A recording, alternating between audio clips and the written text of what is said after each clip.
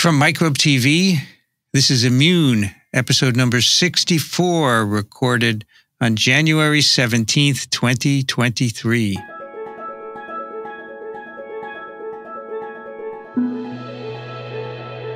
I'm Vincent Racaniello, and you're listening to the podcast about the body's defenders against disease. Joining me today from Ithaca, New York, Cindy Leifer. Hi, welcome back. Happy New Year. Happy New Year. That's right. Yeah, our right. first This is our first one. epitope of 2023. Epitope. so joining us from Cleveland, Ohio, Steph Langle. Hey there. Great to be back. Yep. Happy New Year.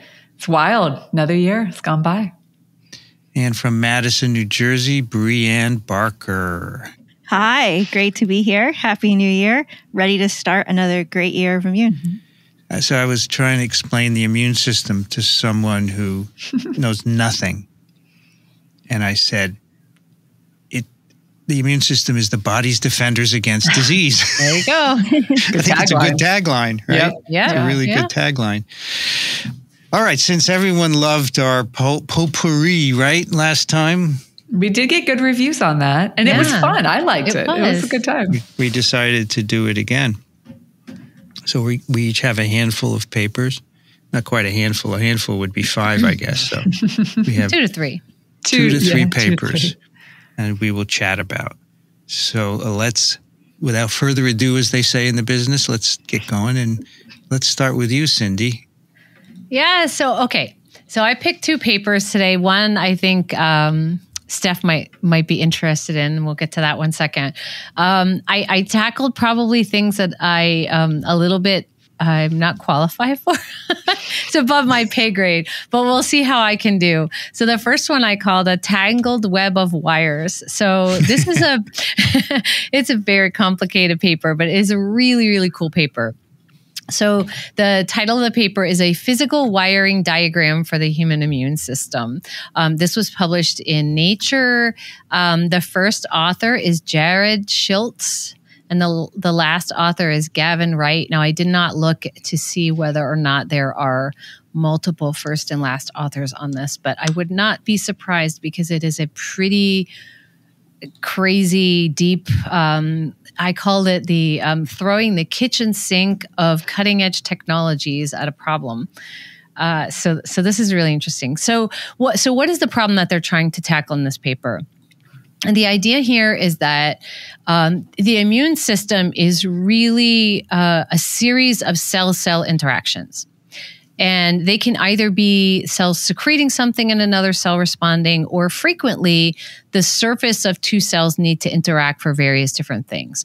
This can include cell trafficking, antigen presentation, the way T cell, cytotoxic T cells will recognize their targets, attach to them, and kill them. And so there's lots and lots of these cell surface cell cell interactions. And we actually don't know that much about those interactions. And so what they did was they wanted to take a large scale approach to do this. So a huge giant screen, but the screens are problematic because um, the the the proteins that interact are usually not very high affinity, so they're really hard to screen.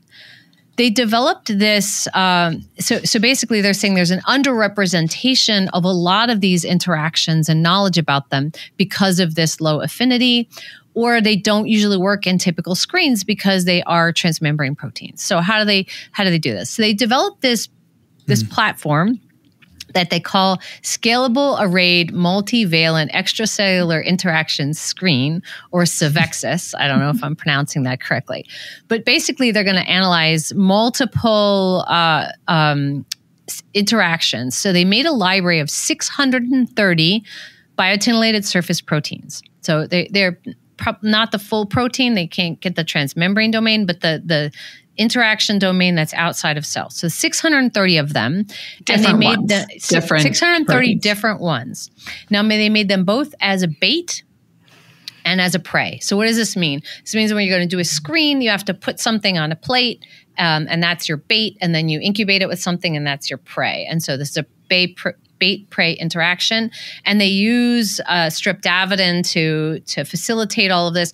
And they make each one of these recombinant proteins individually in a human cell, so that has all the right glycosylations and post translational modifications, everything that it needs. Okay.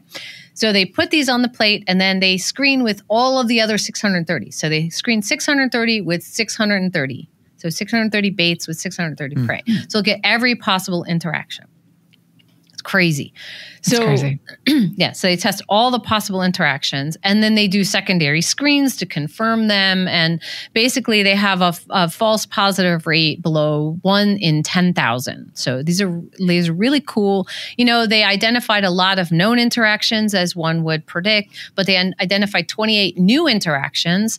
Um, that they had never seen before, and so they they knew what were things that were interacting before by they did a huge giant curation of the literature so this was another giant aspect of this paper they took basically and did screens and and PubMed searches for different terms and things and curated all of the known surface interactions with the 630 proteins that they made. So their screen basically increased our known interactions by 20%. So it doesn't sound like a whole lot, but that's actually quite that's a bit. A yeah, it's quite a bit. And they know this was cool because they identified, for example, novel ligands for orphan receptors. So there's a checkpoint receptor, uh, checkpoint, immune checkpoint receptor called VISTA. And they found that non classical MHC molecules, HLA-E and HLA-F, interact with that. So that's a cool finding. Um, and anyway, so so the other another cool thing that they found was that in immune receptors, 57% of these receptors have a unique binding pair. That means they only bind one other protein. So mm-hmm. the the specificity of interaction is really high, right? Um, but we know that there are a bunch of proteins that interact with a lot of other things in the immune system too. So so there are some that are gen- more generalists and some that are specific ones, and the specific ones are, as one would predict, primarily related to signaling, right? So you know if you're going to respond to a ligand and signal, you don't want to respond to ten different ligands, right? Because then the specificity is gone. So, what are some of the cool technologies that they use to kind of validate all of this and, and provide more information about these interactions? So, one is they use surface plasmon resonance, which one would expect them to use, right? You can take a recombinant protein, you put it on a plate, and you can in real time determine the binding, the on rates and the off rates, and find the affinities of all these interactions. So, they did this on a one on one basis to to support that these are dynamic interactions.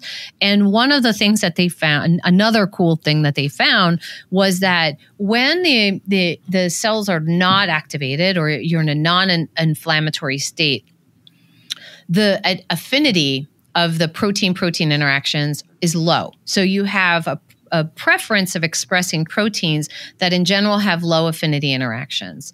And then when you're in an inflamed state, it the cells switch to preferentially expressing proteins that have high affinity interactions. And if you think about it, it makes sense because if you're in a non inflamed state, you want to be really dynamic. You want to be able to interact, move around, respond to multiple things. But once you're in an inflamed environment, you kind of want to nail things together and really um, in, induce whatever responses you're going to have, whether it be antigen presentation or you know T cell interaction. So those, so those are a couple of things that they found.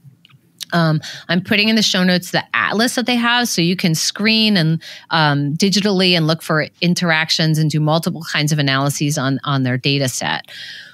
But um, another uh, another thing they kind of did was um, so so throwing this kitchen sink of of things are um, looking at um, the recurring motifs to look at hubs of interactions. So, what they found, for example, were myeloid cells were really hubs of interaction across multiple cellular interaction networks. So, if you think about one particular cell and all of the different types of cells it can interact with and communicate with in the immune system, the myeloid cells seem to be the, the hubs of everything that's happening. So, uh, across multiple different tissues, they they calculated this thing called a centrality score so it's this idea of how many different nodes come out of one particular cell type hmm. And so the the myeloid cells have connections with the most different kinds of cells.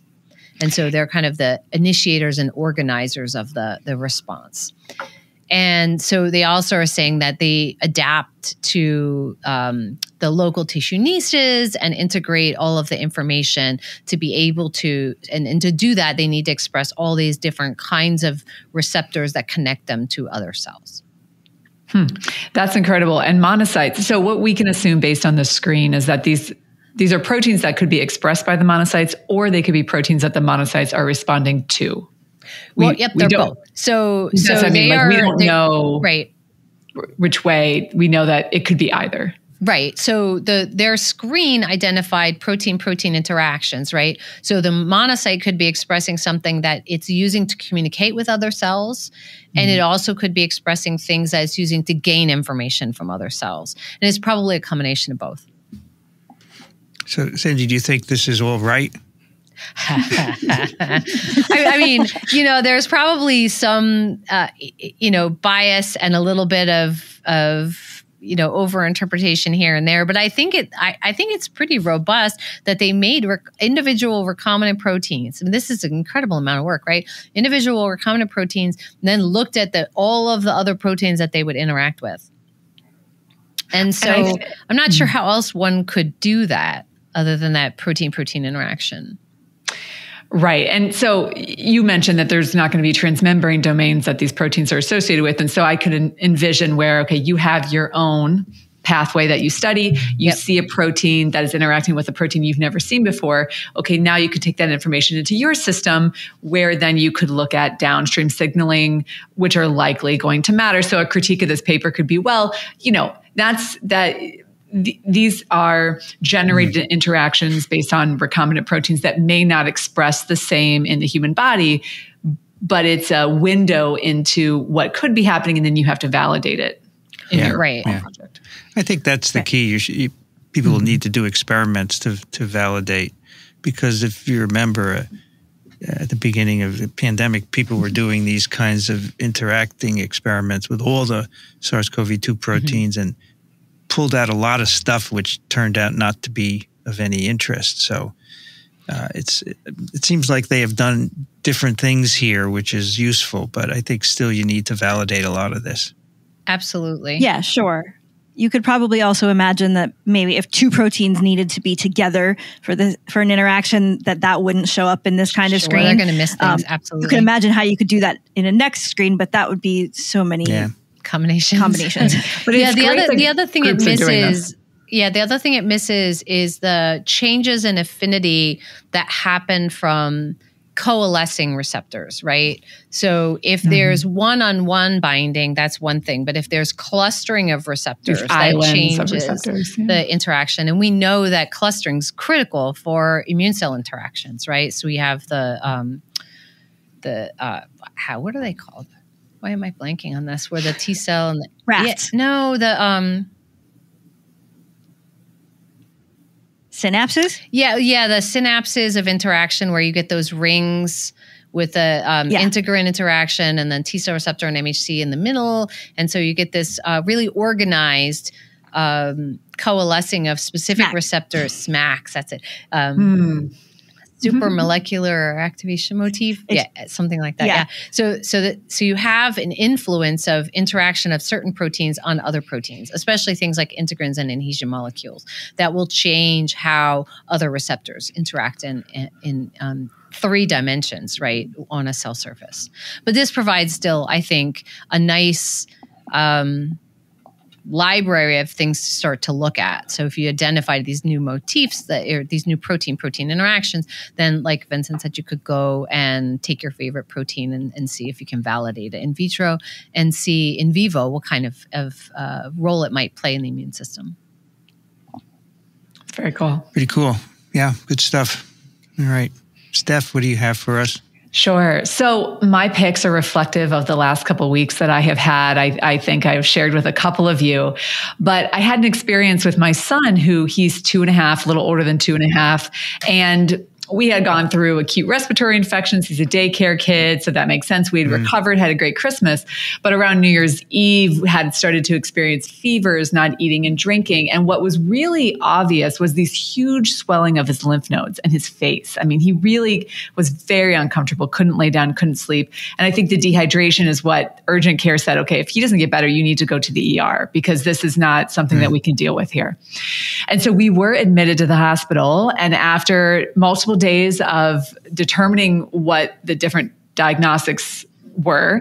For sure, he had strep group A streptococcal infection in his respiratory tract.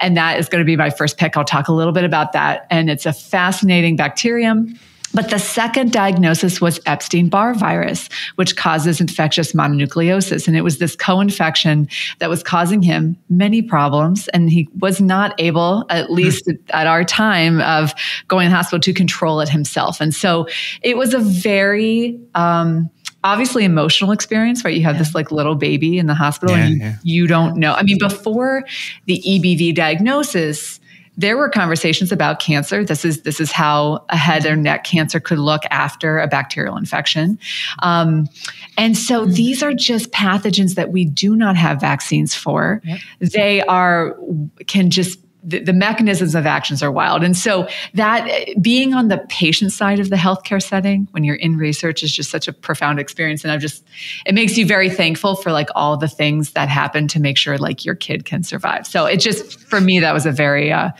a very, uh, I will not forget that experience. Yeah.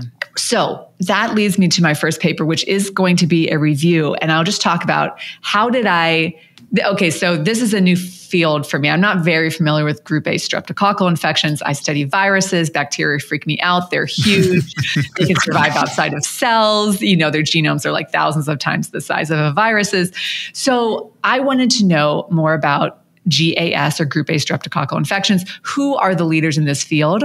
And I would just be curious also to hear how you guys, how you all um, do your uh, PubMed searches? Like, what is your protocol to find out who are the people in this field? Like, what are the reviews I need to learn to, to get to to learn more about this? And what I do, in, and this just for our audience, if you're curious, I could use PubMed. I actually find PubMed to be a very inefficient way for me to find things quickly, a Google search of a Cell Nature Science review paper, because those journals are going to be soliciting reviews from investigators who are experts in that field. So that's, I like to start there. It's not to say Cell Nature Science are like the only journals that you can find good info, but I find when I'm trying to quickly understand a field and know who the experts are, that that's how I kind of start. The other thing to know about group A streptococcal infections is that they are not a uh, disease that has a very wide market share for vaccine development, which is very sad. There are many diseases like this where they mostly are killing people not in high income countries where the majority of research and companies are located. So what you will find with diseases like this, I study one, rotavirus, is you will find philanthropy groups like the Bill and Melinda Gates Foundation and the WHO, which will commission these very large reviews and they will usually be synopses of meetings they've had to discuss, okay, uh, what are the vaccine candidates? What are the what are the proteins we're going for? But then how do we put these in low middle income countries? How do we cheaply make this vaccine and and, and all these different factors that are challenges to, to developing a vaccine. So the paper that I have, I'm going to post. Um, do I have it? I actually don't have it pulled up. I want to give you the authors here. Um, it's in Clinical Infectious Diseases from 2019. The first author is Johan Viekemans, and the last author is David Caslow. And so this is a summary from the WHO and people who work in um, at PATH, which I, I think PATH is a part of Bill and Melinda Gates Foundation. Have might be corrected on that, but again, philanthropy groups. Um, tropical disease, infectious disease groups. And, and what I learned from this review is that group A streptococcal infections are killing 500,000 people worldwide. Um, it can cause a variety of problems. In younger children, it, it presents the way my son presented. These are in the nasopharynx, in the upper respiratory tract, but they can also cause um, skin infections, cellulitis. They can cause something called rheumatic heart disease. Mm. Particularly, um, there's a, a, a target in the M protein on group A strep that has a similarity to uh, a self antigen. And so that's what they think is driving um, rheumatic heart disease. It can also cause gl- glomerularitis and um, is really a huge burden. The particular problem with group A strep is this wide diversity of this EMM gene that produces the M protein. And there are over 50 different serotypes. And the serotypes differ whether you're in a high income country or a low burden disease country. Or and so, a, can I ask you a question? Yes, so absolutely. Uh, that that brings me to, to two questions. The first one is we we hear strep throat, and mm-hmm. is this the organism that causes that? And then the second thing is do do the deaths that occur from this are they because of lack of access to appropriate antibiotics or do we think that they are these different species, these 50 different or serotypes of group A strep that cause the differences in morbidity and mortality? Right. So group A strep is one of the bacterium that can cause strep throat. Group B strep is a little bit different, but it is, yes. So group A strep is one of the ones that causes strep throat. Now, the deaths. Is it specific species, Pyogenes? So that is a different strep. So okay, yeah. So that I was looking at yes, that is a different streptococcal. I don't I don't know if it's caused. Uh, uh, I'm so into the virus world of variants and strains. I guess it's a different. Pyogenes does cause some strep. Okay. Yeah. So he did not have that, or maybe they would have had to subtype him to find that out. But that mm-hmm. is a mm-hmm. particularly virulent strain mm-hmm. of strep. The deaths are dependent on the disease, and that's dependent on the age group you're in. So, okay. what is on the rise, and we we can put the CDC. Um, the, the, CDC just put out kind of a warning, but the, there's a rise in invasive group A strep, which can cause toxic shock syndrome, necrotizing mm-hmm. fasciitis, cellulitis. And, and so, depending on what age group you're in, can determine the, the type of um, disease you have. I think the problem also with group A strep is that, of course, there's the acute things are happening in, in the next two weeks, and you have to get antibiotics in these children or older adults. But the the rheumatoid um, problem. The the autoimmune problem can be a decade after. Mm. And so to develop a vaccine against a clinical outcome that can be very far in the future is is very challenging. So mm-hmm. um, so yeah, so that I I will that would be my this is my first. It's really a review of of everything regarding development of vaccines and why it is so challenging, and that um, there are no correlates of protection. We we assume mm. that both antibodies and T cells play a role. Um, and when we come back around, I have a, a specific paper about that. But um, yeah, group A strep. It is. It's it's interesting when it affects you, and you're you're like, I need to know everything about group A strep, yeah. and why and don't we have a vaccine? Can I ask you another question? And that is, yeah. um, you you say you don't like the bacteria because they're big and they can live outside of cells and things. Because we, we talk a lot about viruses that require, you know, they have to live inside a cell, but some bacteria live outside of cells and others live. Mm. Happily inside cells, for example, like macrophages. Um, is this one that will just persist in extracellular environment, or does it invade specific cells within the body? So when I was looking up that question, they said that they can do both, mm-hmm. that this bacterium can live outside, it can uh, replicate in just the interstitial space um, and connective tissue, but it can also replicate inside cells as well. So, making, I think, particularly problematic if it is this invasive strep A, which I think the determinant of that would be your immune system at the local site cannot control it, and then it can move outside into extracellular, you know, um, tissues outside of like lower respiratory tract, for example. So, Steph, yeah, Steph you're not going to be able to answer this, but do you think both infections were acquired at daycare or mm. both daycare and home, right? Yeah. So I think daycare could have definitely been a route. We had Christmas, we had family over, we're Mm. all eating, drinking together, you know. Kiss, kissing the baby, right? the only grandkid, everyone's loving on him. So Yeah. it, it could have been a combination of of all of those things and and Epstein Barr virus, which will be a pick on we circle back around to, but you know, that is a virus that is transmitted through saliva. It's not typically Yeah. I mean, toddlers can get it up to many times, but it doesn't often cause the type of maybe symptoms that we saw. But I think it was the dual infection that, that did that. That's a great point because, you know, multiple infections often give you outcomes that you don't see with single. right, Right. right, and you know, with the with the correlation with Epstein Barr virus and lupus, I, I'm looking at the correlations of multiple Epstein Barr virus infections in children Yeah. and the increased risk of lupus. Um, so, Right. yeah, yeah. All right. Thanks for letting Thank me you. share. Yep. Brian, what do you have for us?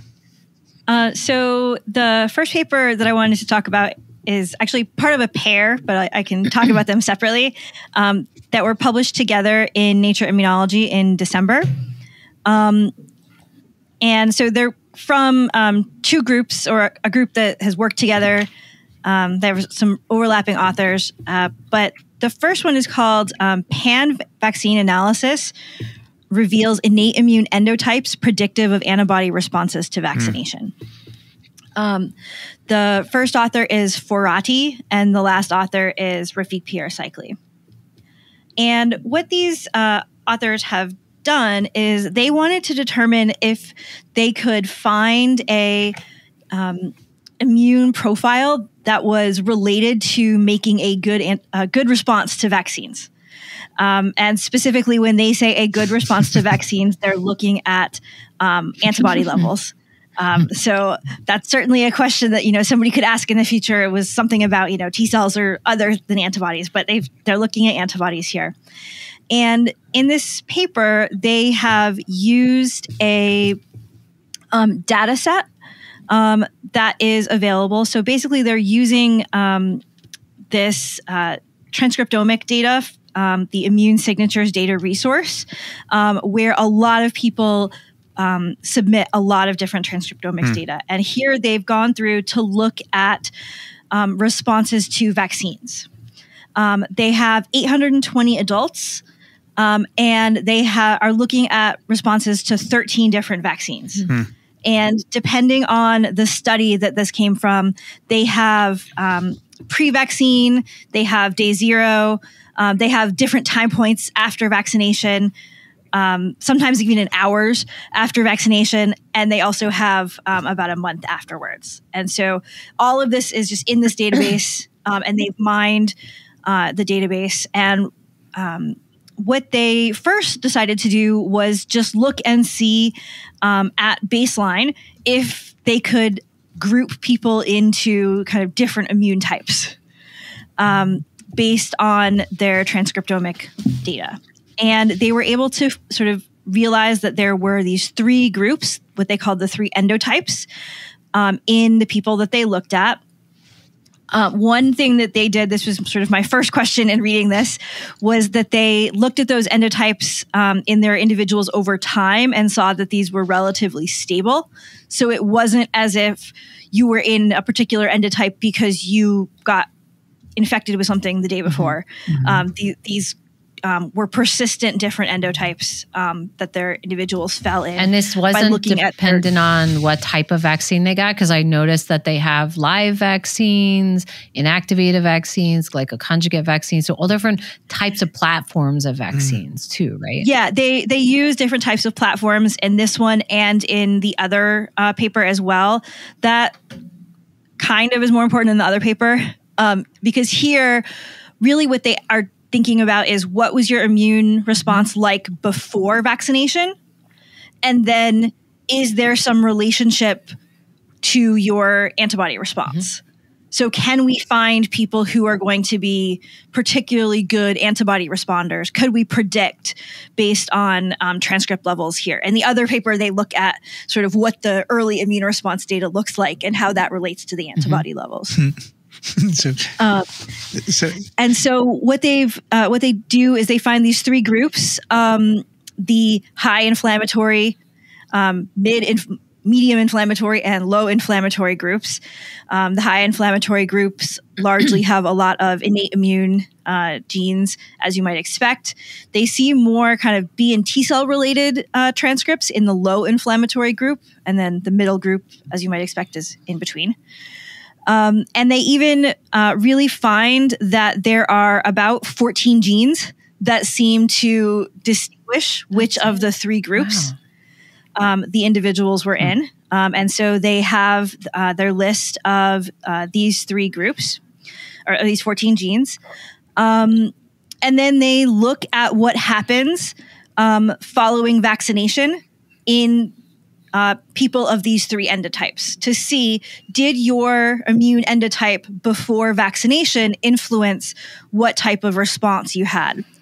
When they looked at innate immune genes, they saw a relatively larger response in the people who were of the low inflammatory phenotype. They were sort of at the low level of inflammation, it went up a bunch, went up a lot, and then came back down. For those who were at the high inflammatory phenotype, they didn't see much of an increase. Mm-hmm. Um, and that's interesting. But then when they also went ahead and looked at antibody responses, um, they saw that there was a dramatic difference in the antibody responses in those people who were the high inflammatory hmm. response. Uh, hmm. Group. So the group who had high inflammatory responses at the beginning made the highest antibody responses, huh. um, and even though they didn't have that big increase um, in immune res- in inflammatory response with the vaccine. They were already sort of at a higher basal. It's level. very interesting. And so, to you, does that suggest that those innate immune mediators are there at high levels for the dendritic cells to respond to as the presenting antigen, for the B cells to respond to? Like the, the mediators you need are kind of there at high levels so that they facilitate the response? That was sort of what they were implying, and that's kind of what I was thinking as well. Um, is that they were able to really start to prime that innate or the adaptive immune response with a good inflammatory response that was already underway. It's very, so they're it's, trained. It's very, yeah, and it's very counterintuitive in some yeah. ways because there's a lot of conversation about inflammation, low level inflammation or, or, medium level inflammation being very detrimental to your health and your immune response. And so I think it just highlights that that is very nuanced too. Yeah. Yeah. Yeah, absolutely. Uh, but I, what they were able, what they would want to be able to do with this is they want to be able to say, okay, can we predict mm-hmm. if someone is mm-hmm. going to be a good mm-hmm. or bad responder? Mm-hmm. And if we know that having a particular inflammatory phenotype going into a vaccine is good, um, could we use adjuvants to improve how certain vaccines will work? Mm. Can we say, oh, um, this individual has the immuno or the endotype that um, predicts they would have a low vaccine response. Let's give them some extra adjuvant mm-hmm.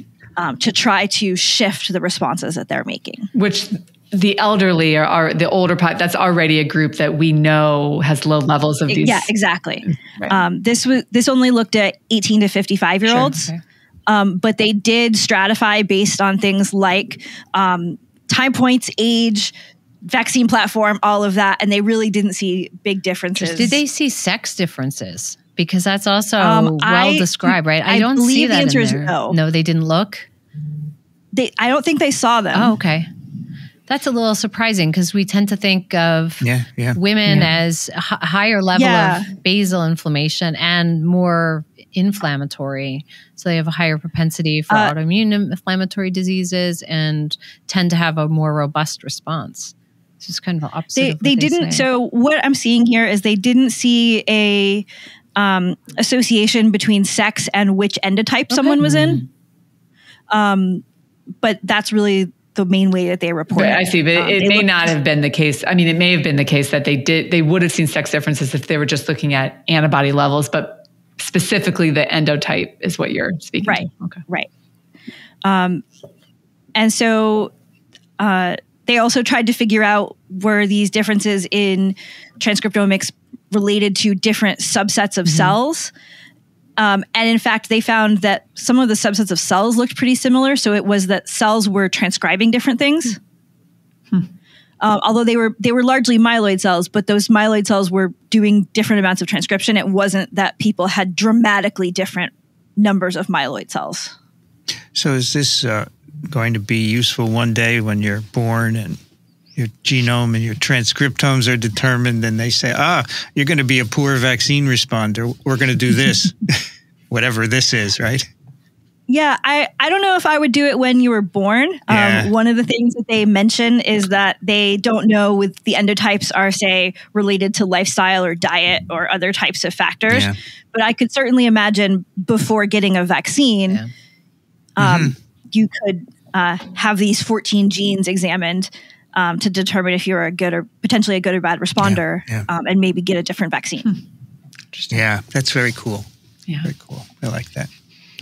All right. Speaking of inflammation, so I have I have a couple of papers here, and uh, I, I'm much much too uh, ambitious here. I don't.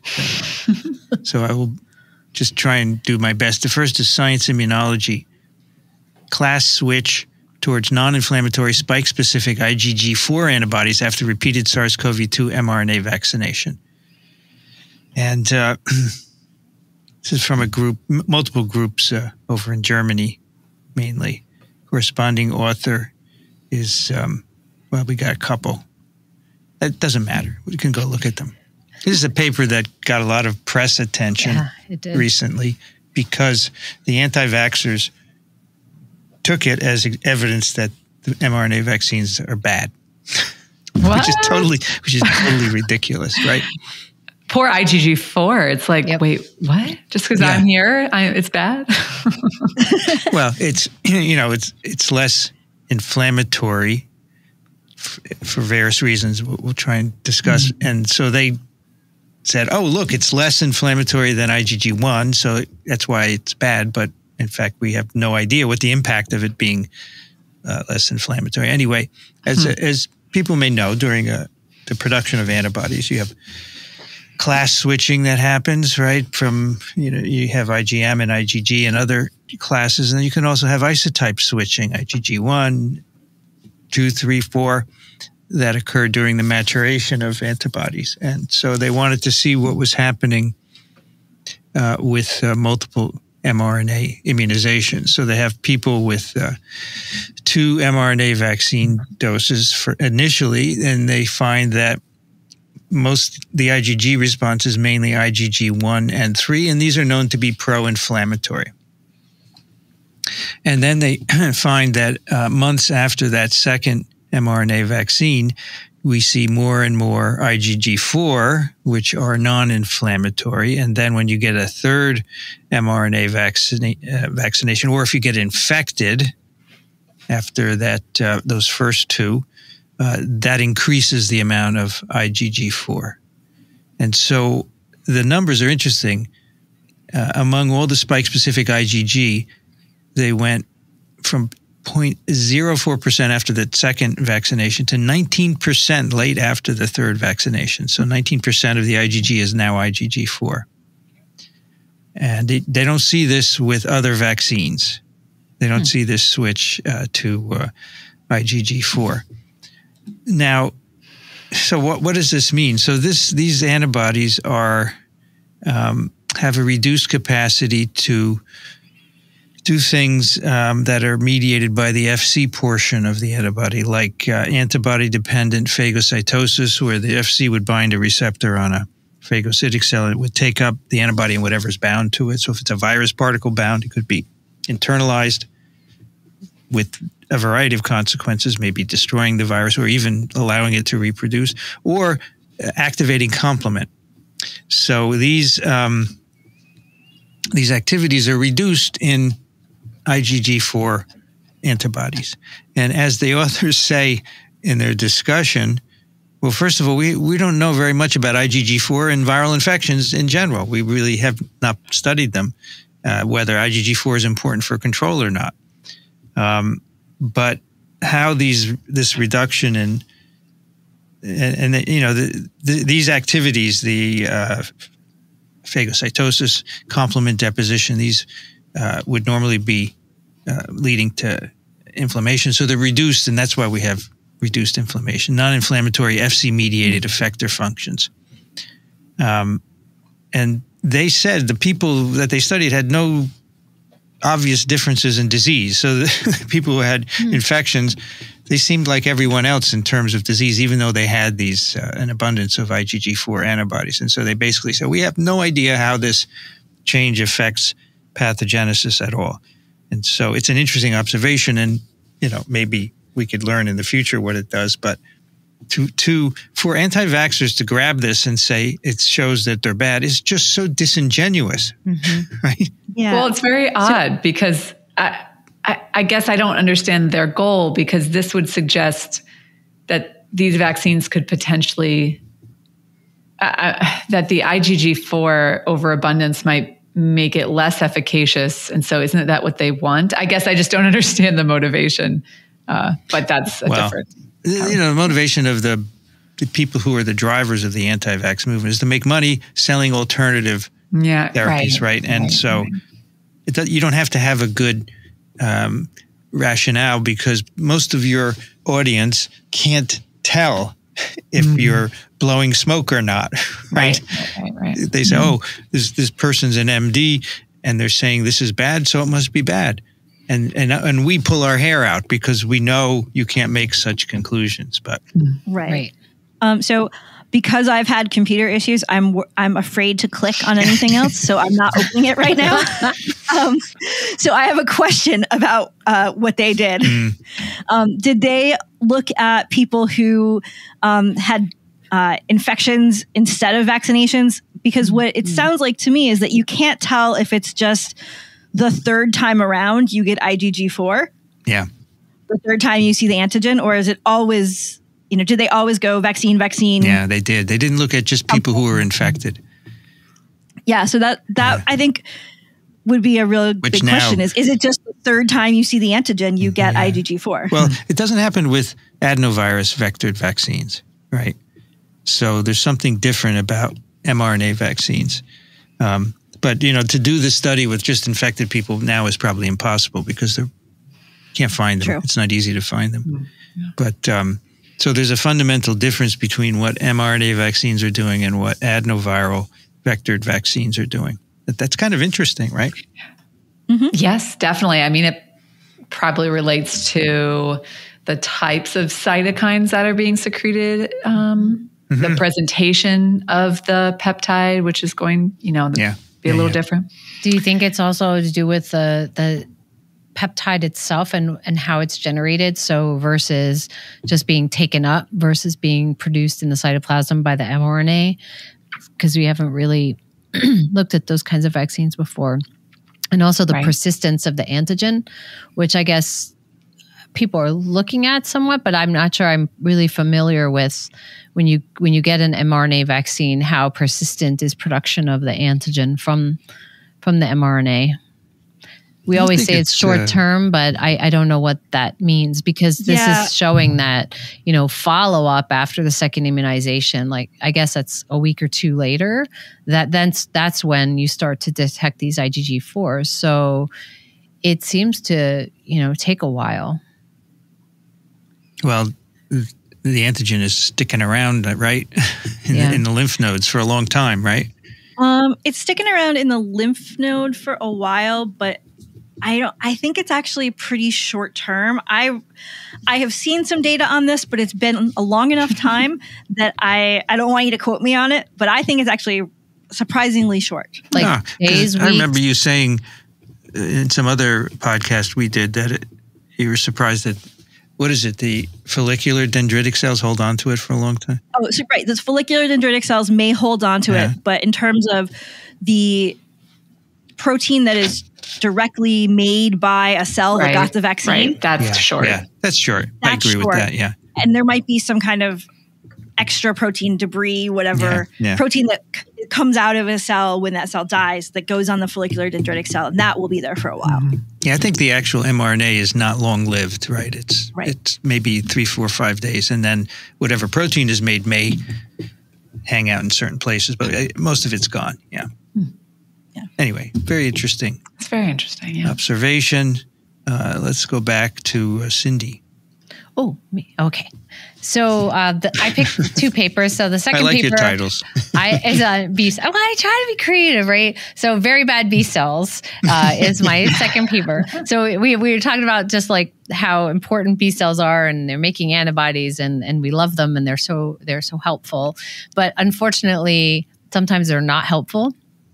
And mm. so the this paper um, was published in Immunity in December. It is called B cell expansion hinders the stroma epithelium regenerative crosstalk during mucosal healing. Hmm. Then the, there are three first authors: Annika Freda, Paula mm, Sarnarski, and Gustavo Monasterio. I don't know if I butchered them. Please accept my apologies if I did. Um, okay, so what do they do here? So this is another like highly technical, cutting edge uh, paper that I thought had some really cool aspects. And I also like that B cells aren't always good. So I thought that was interesting. so, um, what they're really interested in looking at is uh, inflammatory bowel disease. So I think we've talked about this a couple of times. So inflammatory bowel disease is a highly inflammatory disease that damages the intestine, and there are two types. There's Crohn's disease, which affects the small intestine, and ulcerative colitis, which uh, affects the large intestine. And there are mouse models to mimic this that are to varying degrees have a variety of different caveats. Some model it better than others. They use the DSS colitis model. Um, this model basically you feed or hmm. give mice DSS in their drinking water and it damages the epithelium. So the, epi- the the intestine is made up of one layer of epithelial cells, and underneath is a lot of other cells, including a variety of immune cells called the lamina propria. Uh, and so there there's all these immune cells, and when there's a breach in the barrier, you might be aware that there's tons of microbes, bacteria that live in your gut. And those microbes that are normally kept in the lumen of the gut now have access to the sterile environment of the lamina propria. And there's lots of immune cells there that can react to these bacteria that get across the barrier. Then they induce the inflammation and that all gets propagated. So there's a lot of caveats to this model, and I, am not going to get into those, but basically that's how the model works. And you can do this as an acute model where you feed the mice the, the DSS and it causes the damage, and you look at the induction of damage, and then you uh, euthanize the mice and look at what happens. Or you can feed a little bit lower dosage of DSS for about seven days, and then you can take them off the DSS and they will repair the tissue and you can monitor repair of the tissue. So they the mice will lose weight for about 10 days if you feed them the DSS for 7 days. So even after you take them off there's still a little more damage before they start to recover and by about 14 days they get back to somewhat normal. And so, what did they do in this, and how did they find out that there were something funny about the B cells that were going on? So they used uh, a combination of flow cytometry, single cell RNA sequencing, RNA scope, which I'll mention, um, organoids, and uh, they they used Visium, uh, spatial transcriptomics, a whole bunch of different technologies to look at B cells the bottom line, if you take nothing else away, is that there's an expansion of a certain subtype of B cells through type 1 interferons. And these B cells actually impair the um, the healing, and if you deplete them, they heal better. So how, how do they do this? So they they do this DSS model and they look at the steady state conditions and they they look at B cells and macrophages are the two main cell types, and then there's this um, increase in the frequency of B cells over time.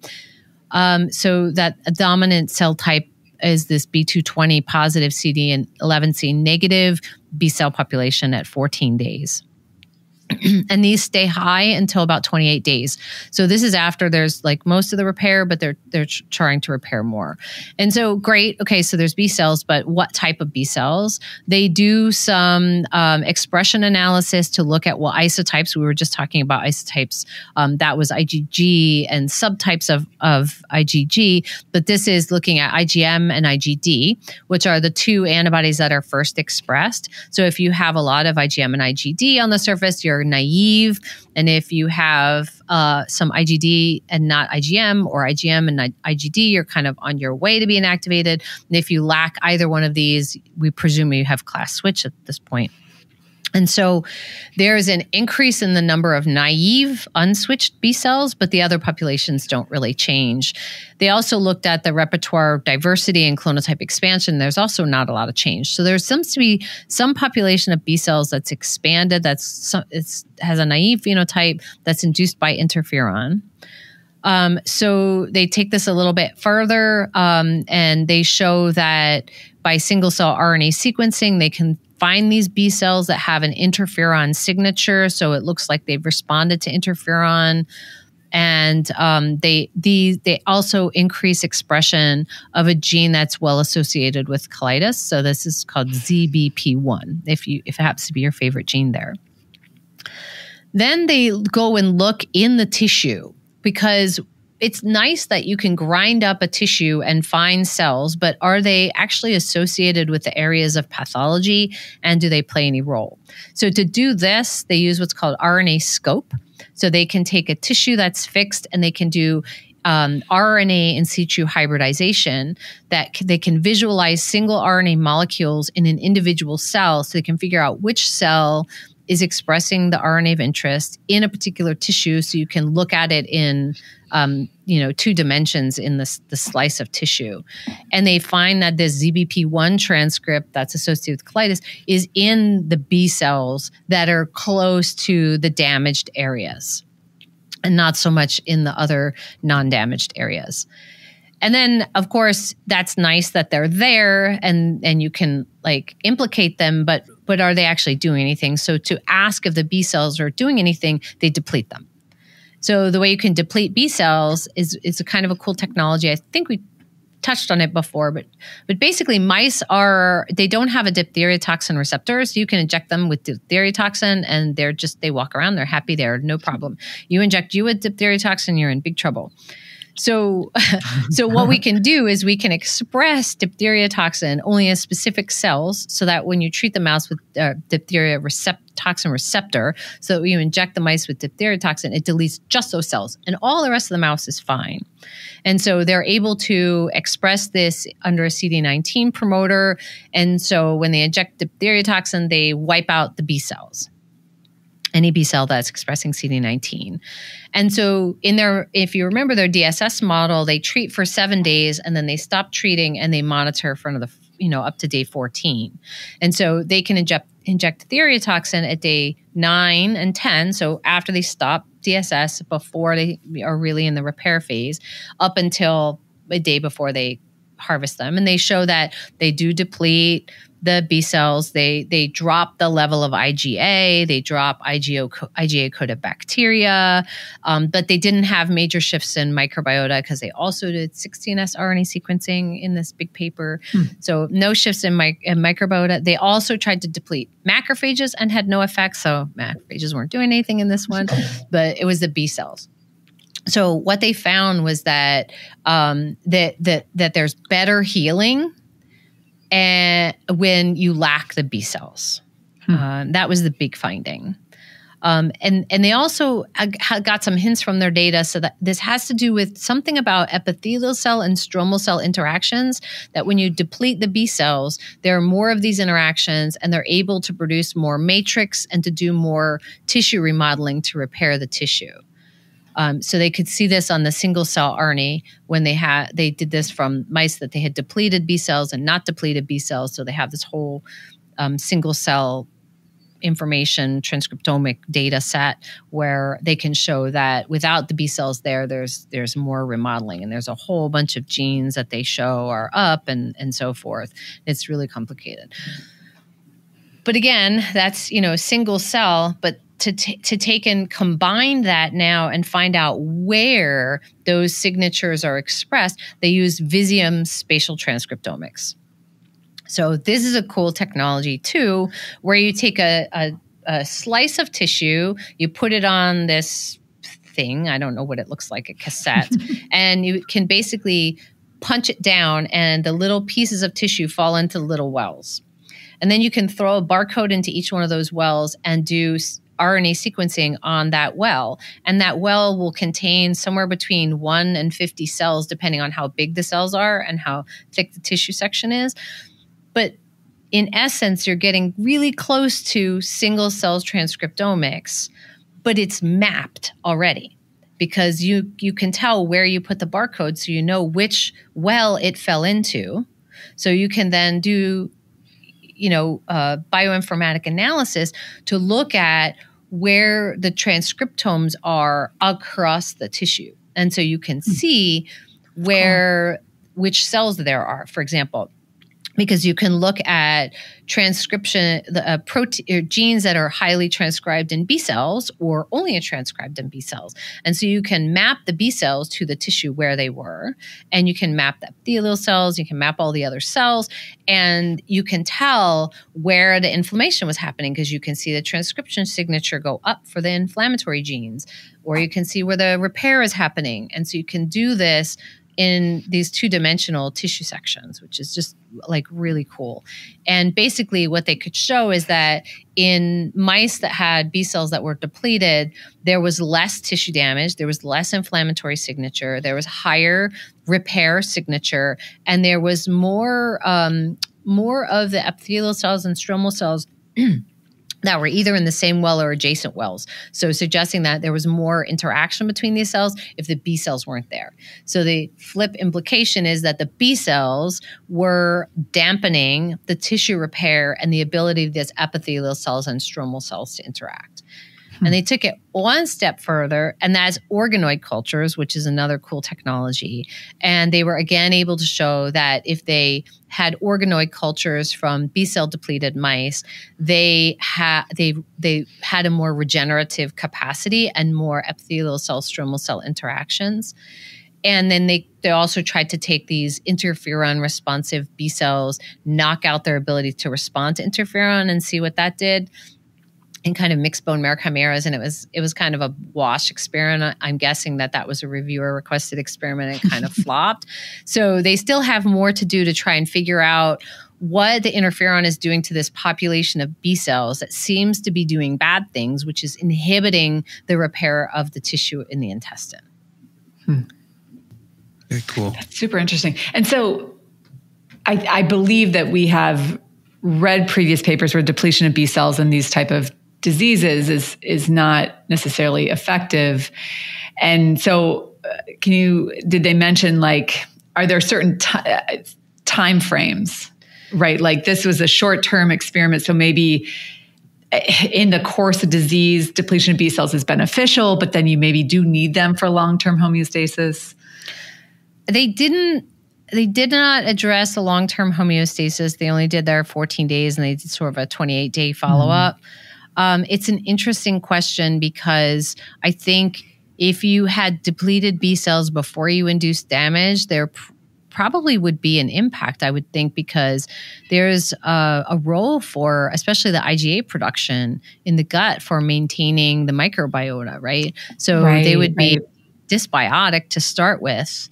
Um, they're, but they're just depleting during this window right, when the mice start to repair. So so that's a caveat to the experiments. Yeah, and maybe maybe you know like a human translation is like okay if if you're able to uh, quiescent the disease, and there is a time when y- you know I, I, you'd have to do a lot more studies in humans that the tissue is repairing these epithelial stromal cell conversations are happening then depleting b cells are would be beneficial but then okay after that you need they need to come back so it, it it's I mean it seems complicated, but are, yeah, are there mean, ways to deplete B cells in humans on the short term? Just adding like CD20 antibody or CD19 antibody for sure. depletion. Yeah. One could do that, but does that really efficiently deplete in the intestine? I'm not so sure. Well, that I don't know.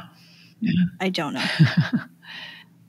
yeah, I, I, mean, thinking about this in sort of an infection context, mm-hmm. um, you could imagine that there are going to be more B cells present when you are trying to actively, you know, be in the effector phase of the response.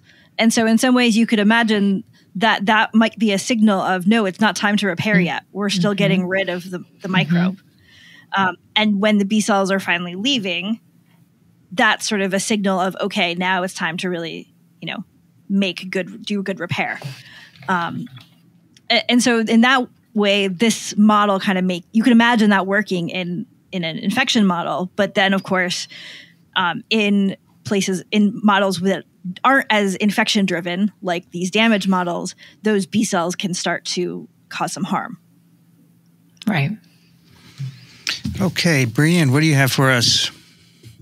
Oh, wait, Steph, sorry, Steph. Steph. Oh, that's fine. Sorry, sorry. Okay, so I am doing a paper in um, EMBO molecular medicine. It's entitled "A Human Monoclonal Antibody Bivalently Binding Two Different Epitopes in Streptococcal M Protein Mediates Immune Function." The first author is Whale Bonin, and the last author is Pontus Nordenfelt and it was just published in December, so just about a month ago, and is along the lines of my wanting to learn more about uh, Group A strep. And what they did was they took human B cells from an individual who had successfully recovered from a, a Group A strep infection, and this is a pipeline that is very similar. You've probably heard us talk about it across multiple different disease types.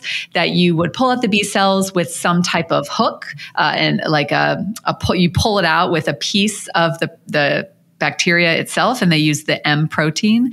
Um, and they then can sequence the BCR repertoire and identify uh, the the sequences that they can use to make antibodies, and then test them in vitro using a variety of different types of assays. They particularly focused on phagocytosis, which is induced by opsonization of the uh, bacteria. And they use a, a couple different ways to test this. And one that is interesting and relatable is you can use heat killed bacteria to set up this assay where you have your antibody binding a piece of the bacteria and by the fab region which is the top the, the y portion and then the fc portion can bind to fc gamma receptors on phagocytes to um, enhance this um, antibody induced killing of the of or engulfing of the bacterium. Or you could use so you could use the killed bacteria or you could use the live bacteria and you can imagine that presentation of the proteins and antigens are going to be different. And so you might have a more translational result. And so they employed these different ways to measure the special antibodies that popped out of these B cells that they pulled from the recovered patient. And they found a really interesting antibody that had a very special way of binding to their uh, protein of interest. So I mentioned that the M protein, which is encoded by the EEM gene is very diverse. And it's one of the reasons it's very hard to make a vaccine. There's over 50 different serotypes. But this antibody, typically we think of a Fab region being able to bind an epitope, which is a linear sequence um, on the on the protein that can bind in one place, and then its FC region is kind of flopping around. It actually will. They, these antibodies can move quite a bit in space, and then they you, the hope is they could bind an FC receptor and engage in that um, activity so the phagocyte can engulf the bacteria or the infected cell. But this antibody can actually bind two at two different places on the Pro, on the the protein, the M, it's the M1 protein. And what's interesting about that is we think of antibodies being specific. So both regions of the Fab of the Fab region being specific to one epitope. But what's interesting is this bound two different epitopes. So their sequences are not exact, they're, they're not 100% similar, but it is in a conserved region of this M protein. And, and they don't really give a full explanation as to um, why this is happening, because I think that's going to involve future studies, but basically to suggest that if you have antibody development and maturation, B cell maturation in germinal center, you can get some of these very specialized antibodies that are doing kind of funky things, things that you would not think they would be able to do, like bind two different epitopes mm. on this protein. And what was special about that is this is a region of the M protein that does not typically engage in FC receptor binding to enhance phagocytosis. But when it was bound twice, it could do that which was very uh, interesting to them. And I think why they investigated it further is it's helped to stabilize this the FC. Uh, probably it's bringing that that antigen closer to to the uh, phagocyte. It could, like I mentioned, antibodies can kind of flop around in space, and so if you have both sides bound, it kind of it, it forces it to stop moving around. So then it can maybe find the FC receptor more easily. So. It, it is a uh, a unique antibody that is in kind of this uh, nebulous group of weird antibodies that have been isolated. Another example is um, from HIV patients. It's called the 2G12 um, antibody. And what's unique about it is you think of this Y, it dimerizes together to be just like this single fab that can bind glycans, which is its unique property. So what I liked about this paper is I learned a little bit more about the M protein not typically inducing phagocytosis. But if you can generate uh, these special antibodies that can be stabilized by binding two different sequences on the same, you know, two different epitopes on the same protein, it was stabilized and did induce phagocytosis. Now, how you can induce the special antibody in an individual, I, you know, we don't know. Like these are like one in a a trillion chance, right, of, of developing these very unique antibodies.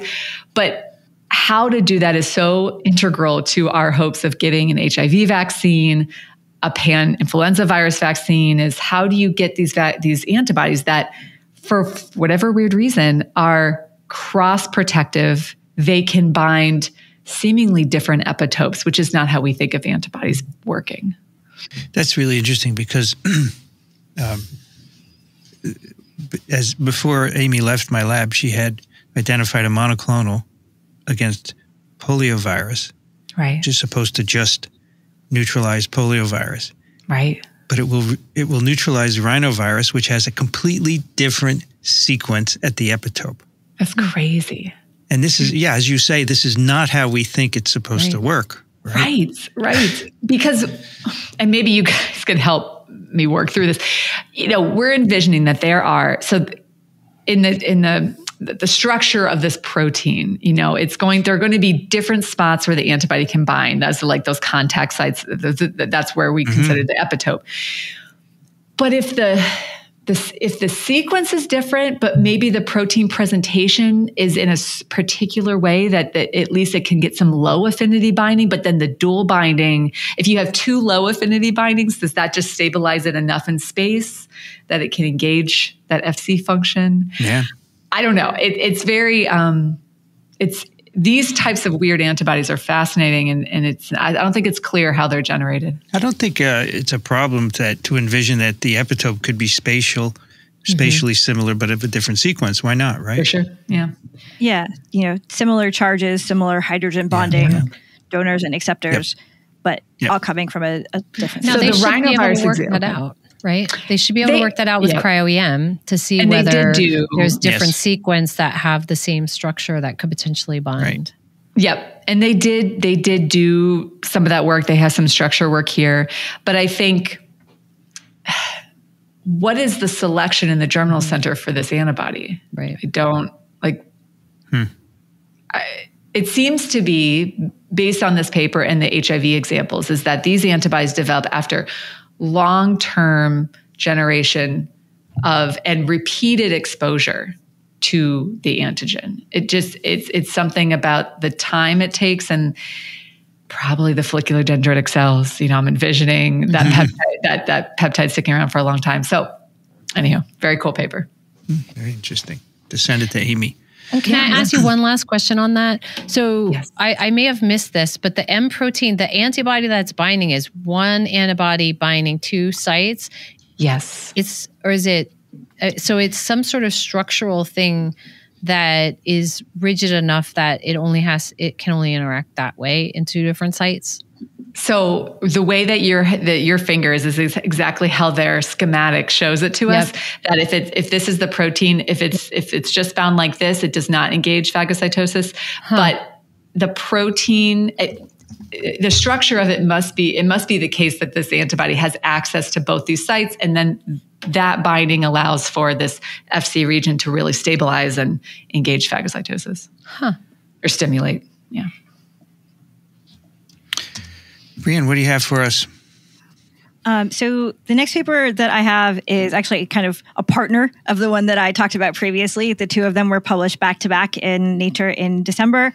Um, the first author of this is uh, Thomas Hagen, and the last author is Bale Polendran. Um, and the title is Transcriptional Axit, bleh, Transcriptional Atlas of the Human Immune Response to 13 Vaccines reveals a common predictor of vaccine induced antibody responses. Um, so, in this study, um, the authors are again using the um, import um, database um, of um, transcriptional data looking at 820 healthy adults who had gotten 13 different vaccines um, from these differently published data sets. And again, um, they largely think about um, whether they're getting an adaptive response by thinking about antibody levels. Um, and um, while they have a variety of different vaccine platforms, they don't have any mRNA vaccines. Um, so I already have lots of ideas for things I'd love to know in the future. But this is pretty cool. Um, so in the previous paper, um, they were really focused on what the endotype was, what the immune response was before vaccination, and how the, that um, related to the response after vaccination. Here, they wanted to look at the early events immediately after vaccination. What types of transcripts were made at day one, or day three, or day seven following vaccination? Um, and how that might relate to the antibody response. Um, and so you can imagine the other paper is sort of go, uh, looking at you before you got a vaccine and trying to determine if you would be a good or bad responder. Here, you might be looking at you at day one after vaccination and determining if you had, you know, a good vaccine take um, or something like that.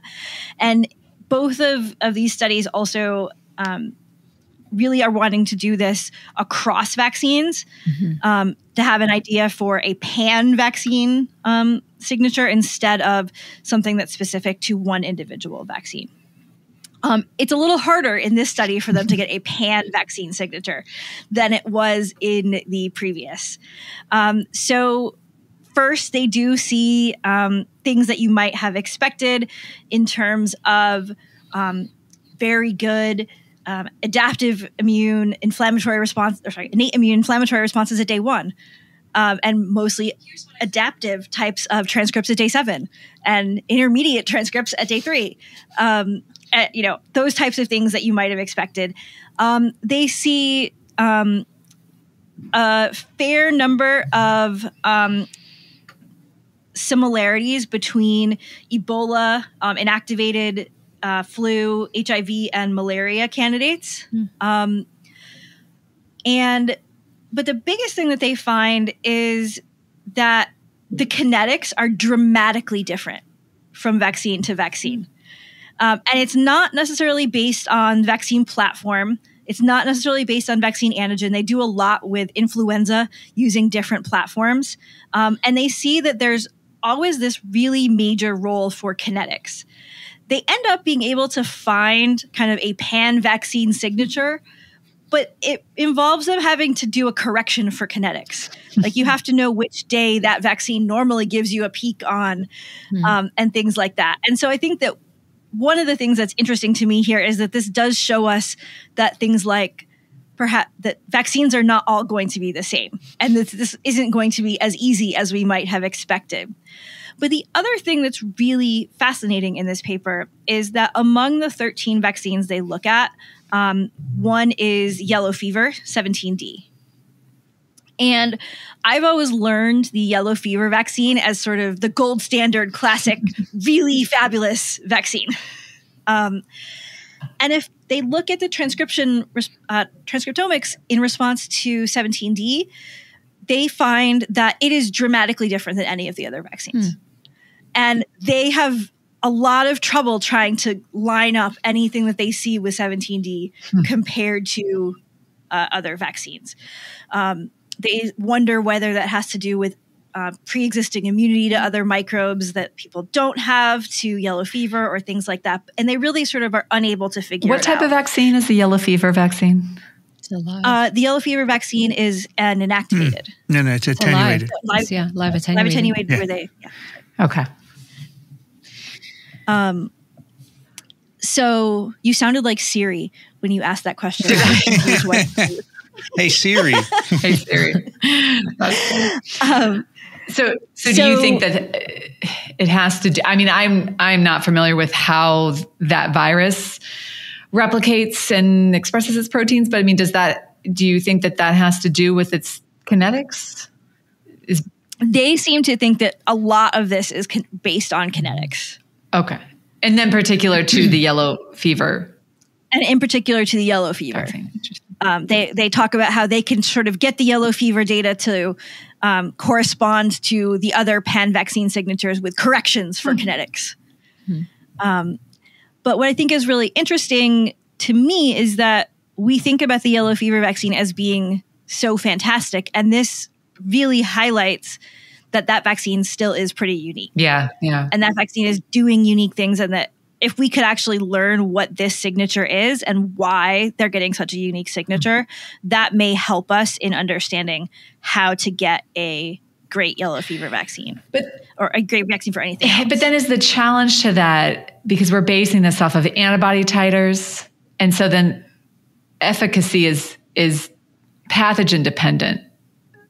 Yeah, no, absolutely. And I actually to be honest, like this paper paired with the other paper mm-hmm. because it shows that you aren't always going to get a clean answer. Can't always get what you want. You sort of a nice systems um, type of experiment. Yeah, yeah. Um, the you know the other one I felt like there was sort of this very clean. Okay, there were these 14 genes and the endotypes, and we can definitely see something cool. And here we learn mostly about the complexity of the immune responses and understand some areas of complexity that maybe we didn't realize were as key. Um, maybe you know this one tells us about kinetics as really driving these responses in a way that we didn't know that the kinetics were going to be as big a deal. And did they try to? oh, go ahead. I'm surprised they didn't put the polio vaccine in here, which is a really mm-hmm. good vaccine, also. You know. Yeah, I think it's based on what was available in the database. Hmm. Yeah, hmm. probably. Okay, Did they sorry. try to look at the endotypes that were in the other paper and how that influenced the response to the vaccines? They did not look at that here. They no. need to get together, these two groups. Guess you said there were a lot of overlapping authors, so I just wondered if they addressed that. Maybe that's their next paper. using the same database. Hmm. Maybe that'll be their next paper. Yeah. Maybe. I, I wonder whether they worry about um, numbers and power yeah. when they start to do that much so, yeah, yeah, yeah, yeah. Fascinating. Do you think this kind of integration is entirely valid, considering that the data mm-hmm. may have been obtained under really different conditions? Well, so their argument. okay. I'll, I'll, give you their, their argument yeah. about that. Um, their argument is that in using this study where they're looking at more a larger number of people than have been done mm-hmm. before and in a wider variety um, of people than have been done before is m- perhaps more generalizable than in a study done with a smaller number of people in a particular say geographic region or something like that. And so the argument they're trying to make is no that actually helps us because we can get rid of some of the bias from whatever may have come in from an individual study. Yeah. But yeah. you're right that it becomes really hard mm. because there is so much variation. I guess one of the systems well. biology arguments is the more data you collect, the mm. more it coalesces, right? Because it's yeah. it's sampling, right? If anything, you flip a coin, right? The more times you flip it, the closer you're going to get to 50-50. And right? then at least you they can correct for said thing in their analyses. Yeah, I don't can, know. I, I I don't know enough about the bioinformatics, but it seems like you know just saying, oh, okay, so we think time is an issue, so we're just going to correct everything and kind of normalize it, and then look. I don't know. There's you're probably losing some yeah. important information there. Yeah, no, I think that that's that is very true. I, like I said, I like the idea that we're these types of approaches can have us find answers, but they also sometimes show us complexity. Yep, mm-hmm, for sure. Okay, let's. Uh, my turn. Cell Reports Medicine paper. It's very interesting. Impact of SARS CoV 2 exposure history on the T cell and IgG response. Okay, so they have a cohort of people, 190 people with different kinds of vaccination and exposure histories, right? Mm-hmm. They have one exposure, which is either vaccinated or infected. They have two exposures, either two vaccines, a vaccine and being infected. Three exposures, you, you can figure it out. Two vaccines and an exposure, or one vaccine and two exposures, or four, two vaccines and two exposures. And the question is, what does that do to the antibody and the T cell response? Very cool. So they measure, uh, like ELISA, the IgG response against spike and nucleocapsid. Nucleocapsid, of course, you can do in the infected people or vaccinated and infected, but the nucleocapsid comes from being infected. And they do T cell responses as well, spike nucleocapsid. Cool thing is, T cell responses don't go up with multiple exposures. Hmm. They're pretty much high at the first and they stay high. And the antibody, this is a magnitude, this is total antibody now goes up with a number of exposures. I, I think that's very interesting because mm-hmm. It is my feeling or my understanding that, and, and Daniela Weiskopf uh, talked about this with us on TWIV last week.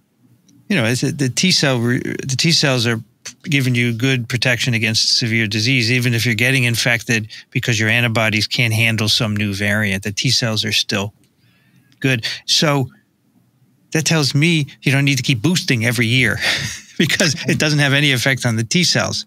I think that that is true in a healthy mid-age population. I think where people who don't want to think of themselves as older, but their T cells are telling them they are. Yeah, yeah, that sure. they do need. You know, I think that any uh, I mean, I think other things like diabetes and general inflammation can decrease initial T cell responses. So the flip side of that would be if you are somebody who thinks your T cell responses are compromised, then you would probably benefit. Maybe, maybe. I mean, I don't know how long you will benefit from a booster. Say you're seven, if you're elderly, elderly, seventy-five and up. I don't know would, how long it's going to last. If your T cell responses are less efficacious and then you have to maybe rely more on your antibodies, at least if you can get yourself antibody boosted so that you can help your T cells out during those months when we're coming together. Yeah.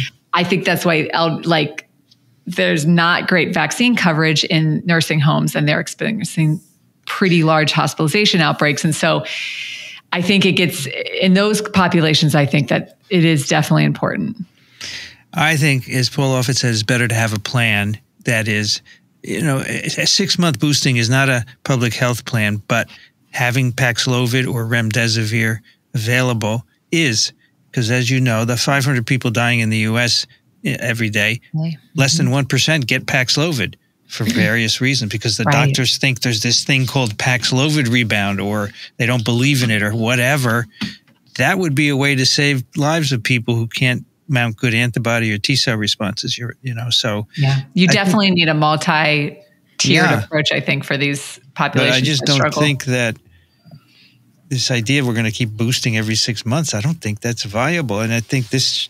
Anyway, this is these are healthy people for the most part. Anyway, the um, the other the other part that's interesting is if you have a combination of infection and vaccination, uh, you have uh, a greater breadth of your response compared to vaccination only, and you have more polyfunctional CD4 cells compared with spike only, vaccine only. So something about being infected and vaccinated is very good in that sense. They say they call it hybrid immunity, as many other people do. Hybrid immunity induces more polyfunctional spike CD4 cells than vaccination only. So some some things to think about, and maybe you know as you're designing new vaccines to keep these in mind and as a goal do they look for IgG4? no, they didn't. they did not. No, they just look for total IgG. but, you know, next time they do it, they will. Yeah, some right? subclass analysis would right. be good. That's cool. All right, let's move uh, back now. Let's see. So, uh, Cindy, Steph, you have a third one, right? Okay, yes, I have a third one. it's a very interesting study by oh, what is his uh, Openshaw? No, I gotta pull it up here. Uh, out of the of the Peter Openshaw's lab uh, at Imperial College of London. This is an RSV human challenge trial. Mm-hmm. I find these human challenge trials very interesting. They seem to happen a lot in in England and um, in the UK. I, I don't know if there's just a precedence from you know early days when they were doing challenge trials, but there seems to be a lot that come out of that group. And what I I actually just saw this paper today. I was on another call and it's just very fascinating. So I'm going to scroll down to just a couple main points. When they were looking at the response to a human challenge trial, whether they had symptomatic infection or asymptomatic. So whether they had a cold or no cold, because these are healthy individuals, they were not challenging immunocompromised or older individuals. And so their clinical outcome is just you have a cold with symptoms or you don't. And those that had a cold, the predictors, the biological processes that were predictive of that uh, symptomatic response were to do with neutrophil activ- activation, neutrophil immunity, neutrophil degranulation, and different molecules that are secreted from neutrophils. So that was a really big uh, takeaway is that if you have an overactive neutrophil response, you are more likely going to have symptomatic infection uh, to RSV. In addition, and I can draw your attention if you have the paper open to figure five, they show you this panel of a multiple different chemokines and cytokines. So they interferon alpha and gamma, CXCL10, IL 15, there's a bunch of them. And the typical trend that is observed in all of these different molecules is there's a couple that are different, but if you have a decrease at the beginning of your infection to uh, if you have a decrease in any of these molecules at the beginning of the infection, but then you have this massive ramp up later on in infection. This is like day seven, that you are more likely to have symptomatic infection. Whereas individuals who had no cold, either their interferon alpha, for example, or other molecule was flat or increased at the beginning of infection, they did not have this like big peak later mm. on in infection, which related to symptoms. And so innate immunity matters so much for the controlling of mm. initial viral infections. And that's very clear here in this healthy population of people that were RSV infected. There were a couple of interesting cytokines like IL 8 and IL 1 beta where the trends were different. So if you did not have a cold, you actually increased in the, both those cytokines and they kind of remained higher. So maybe that has to do with um, controlling the virus. But things like interferon, even IL 10, TNF alpha, IL, um, IL 6, if you can have a quick blip of this particular molecule, think I'm thinking this has to do okay you're going to control infection. You don't have this like massive immune response and that immune mm-hmm. response is what's going to correlate to symptoms. So innate immunity I mean it is if you don't have that it's it's really difficult to control these pathogens. It's the big the biggest uh, risk factor for severe covid right? Yeah. And it's hard because you can't I mean these are not things we typically think we can manipulate. Like you either have your response to these things mm. are innate, right? You, there's not your your endotype is your, your endotype, endotype is your endotype. So for my innate immunologists, and that would be Brianne and Cindy, how do you think of innate immune responses and our ability to harness them? I mean, is it kind of just like whatever happens, happens, or what do you, how do you think of that? Hmm. I, yeah, I mean, I think a little bit about things like, you know, the adjuvants that we're mm-hmm. putting in vaccines yeah. and some stimuli like that. Um, but I think that that's the place where we know the most. You know, people are coming up with some ideas on the trained immunity mm-hmm. side mm-hmm. of ways to harness innate immunity, but I, I'm not sure that we fully understand that enough to to do much. Yeah.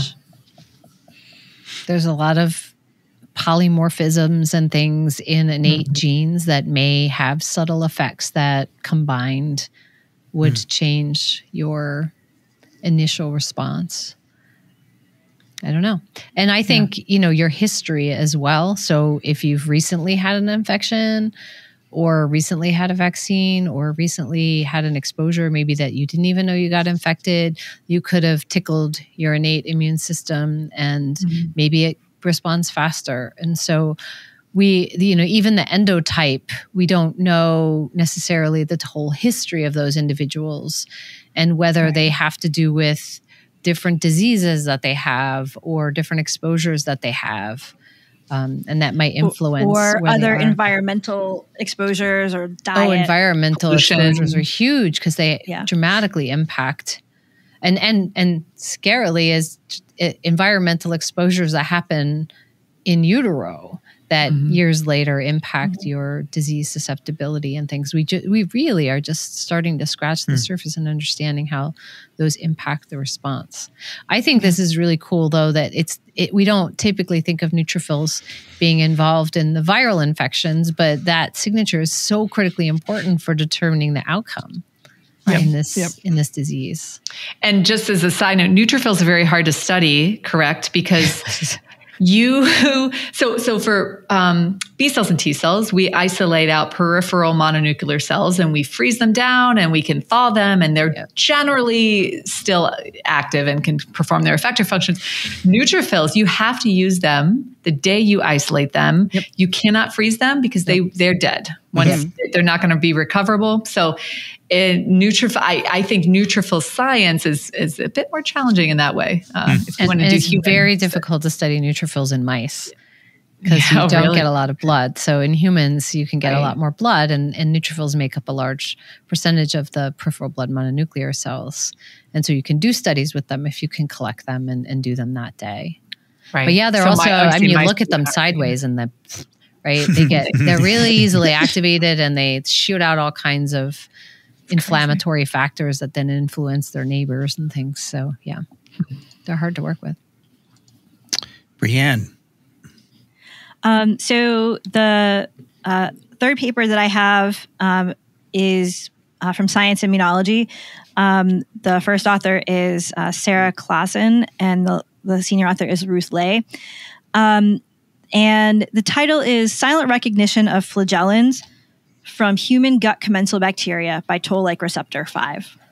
Um, and this paper gets at a really interesting question um, in the field, which is that we have a lot of innate immune receptors, like many of our toll-like receptors, that respond to um, molecules that are part of microbes.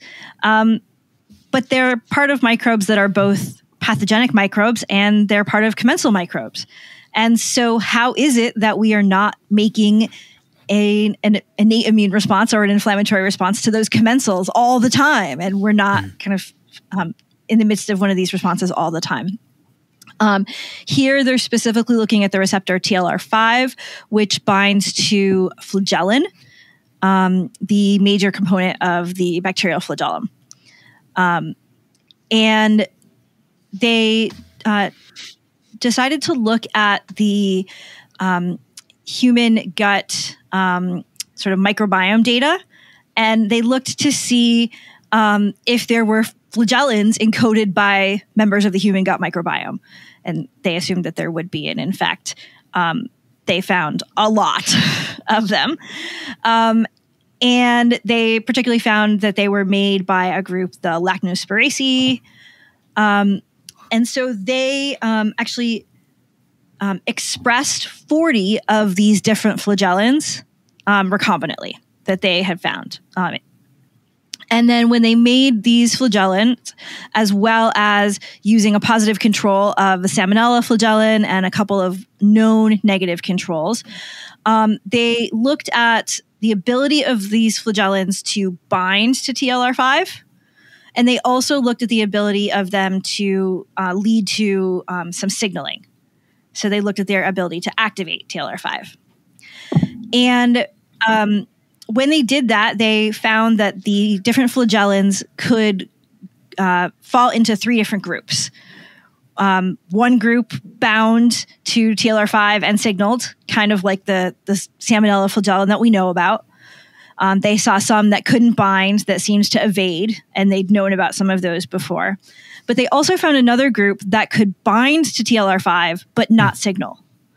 Um, and these were largely from their commensals, um, from this one particular uh, group, the um, Lachnospiraceae flagella. And so they found these flagella that could bind TLR5 um, and not signal, and they called them their silent flagellans.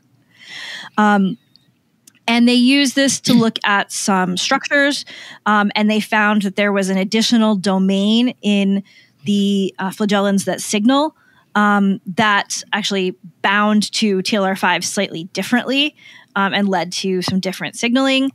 Um, and they also found that this led that they could see these flagellants in um, uh, micro in data from human stool. So these are clearly being produced, um, and they are influencing um, TLR5 binding and potential signaling.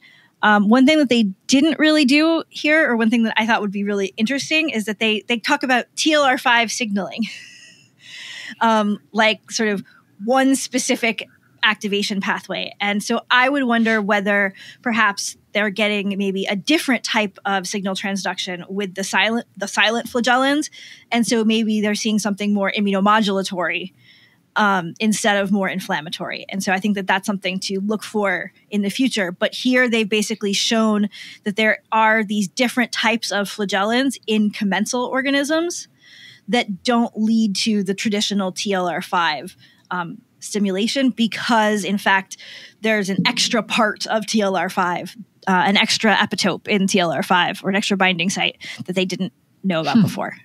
And this was a tour de force, but did they actually take that extra epitope and then add it in to the mm-hmm. silent ones and make them non-silent or delete them from the active ones and make them silent? Yeah, they they do that. They do individual mutations mm-hmm. of different mm-hmm. parts of the mm-hmm. epitopes. I mean, they they do a lot of really nice biochemistry. Cool. Very cool. That's very cool. All right, last one is uh, one that is um, not SARS CoV 2. it's this fundamental immunology. It is a cell paper out of uh, Charlotte Viant's laboratory You and as collaborators at the Rockefeller. Continuous germinal center invasion contributes to the diversity of the immune response. So, as uh, listeners may know, um, when uh, when B cells encounter antigen, uh, it's presented to them, and they begin to uh, undergo cycles of expansion and maturation in the germinal centers of the lymph node, and so. Um, the uh, the antigen is on the follicular dendritic cells, and the B cells are selected that bind that. The ones that can't bind, they're they're gone. They're fired. the ones that combine uh, go back and they go undergo cycles of somatic uh, hypermutation to make even more high affinity uh, binding antibodies, and they go through multiple cycles, and that's how you get high affinity uh, antibodies. And so uh, this this paper is all about understanding um, the, the, whether these germinal centers continuously recruit uh, naive B cells, right? Um, it's it's known that um, B cells with low affinity uh, antibodies can get into uh, lymph nodes, right? So if if you have a high affinity, you, you, you, get a ticket to go in. But even if you have a low affinity, uh, you can you can get in in the absence of competition with if there's no high affinity uh, B cells to begin with. So in this paper, they want to know whether these germinal centers are continuously recruiting B cells and how that contributes to diversity. So they, they use an antigen from HIV1 to do lineage uh, tracing experiments, uh, and uh, they can track uh, B cells that go in. And um, what they find is that um, naive B cells continuously enter germinal centers, right? So naive means they haven't yet bound uh, uh, an antigen. Um, and there in the germinal centers, they compete for T cell help with the other B cells and they go undergo clonal expansion. Uh, and these late comers, it's like someone coming in late to a concert, right? they still can get in. They have fewer mutations. They can constitute 30% or more of the cells in, in these late stage germinal centers. Uh, these cells diversify the immune response because they have receptors that have low affinity uh, for the immunogen. And so what we find is that the the affinity threshold for getting in, right?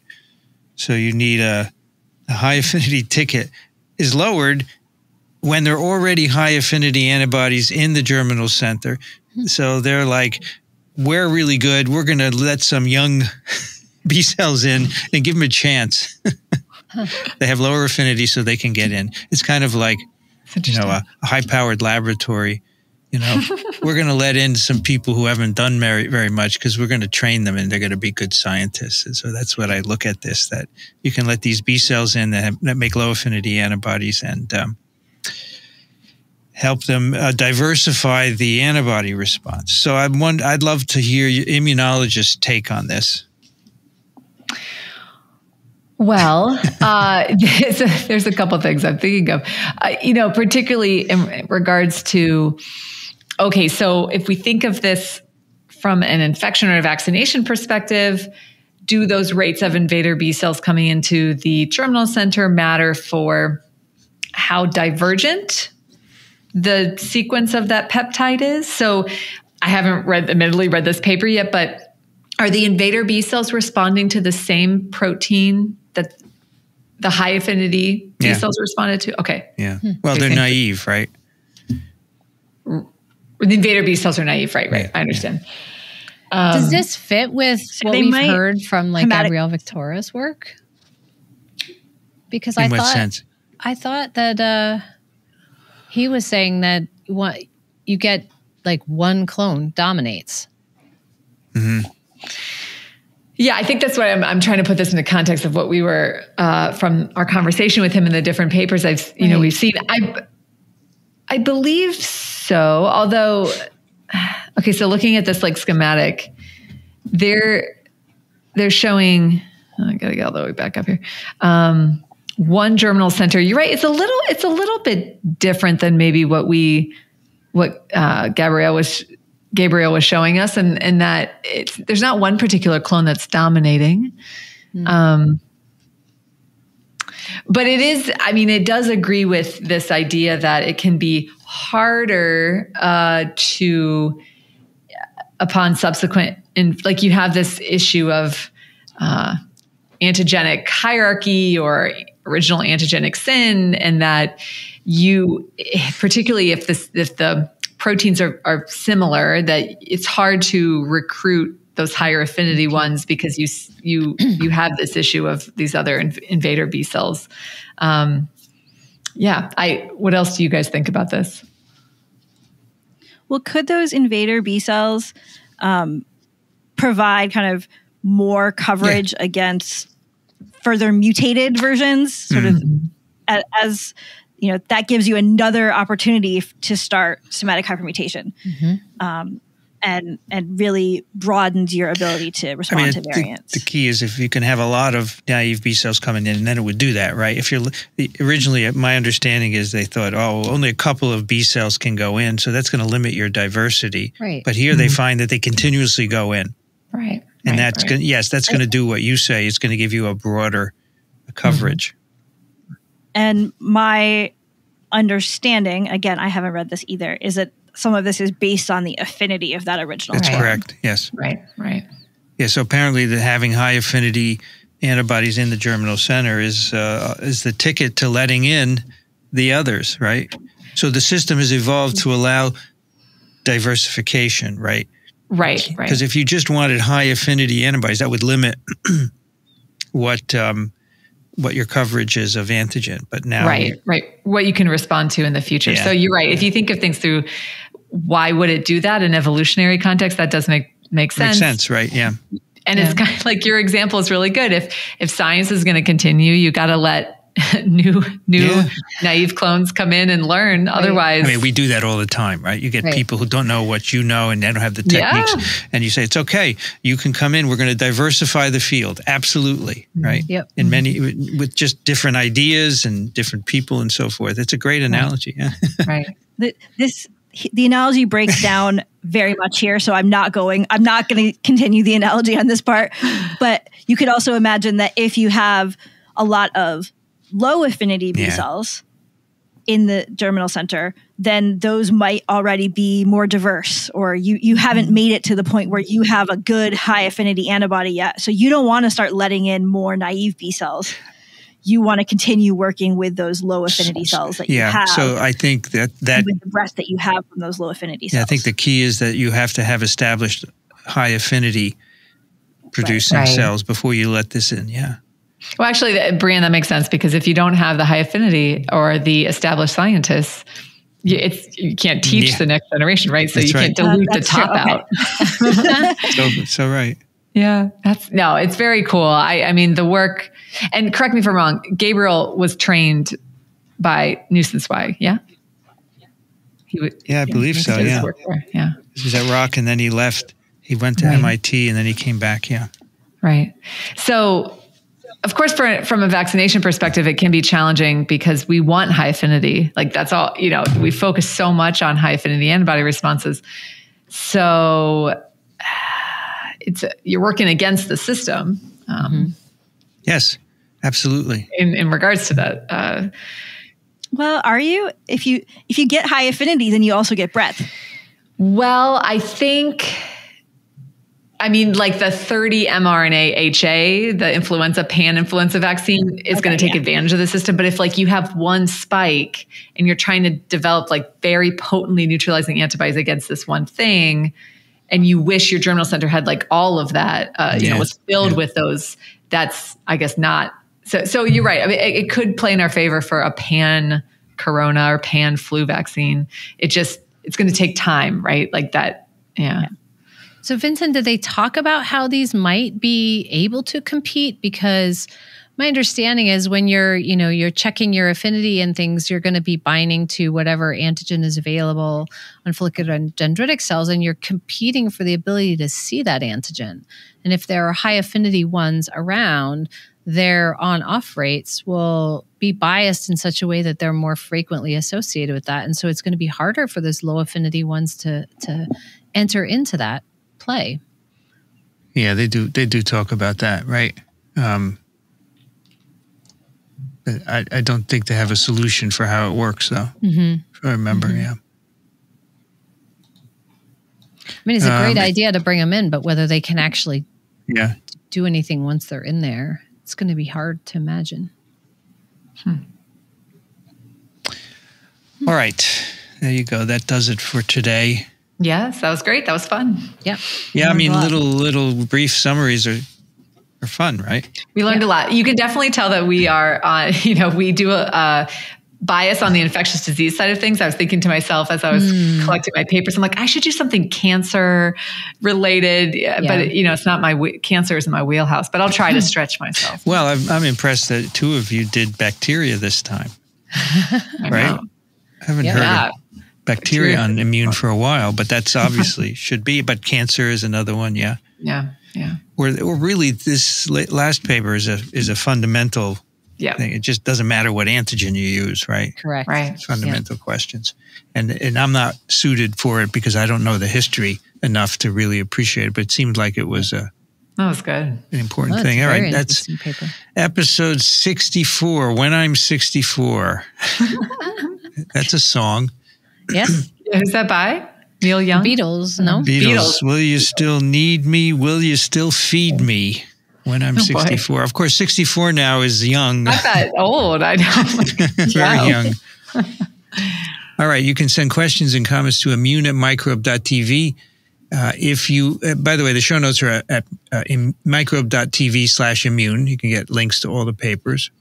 Questions, comments, immune at microbe.tv. If you enjoy our work, we would love to have your financial support. There are lots of ways you can do it, you know, including giving us money, or you could hook up with Amazon and they will give us a fraction of your purchases. It doesn't cost you anything. It's called Amazon Smile.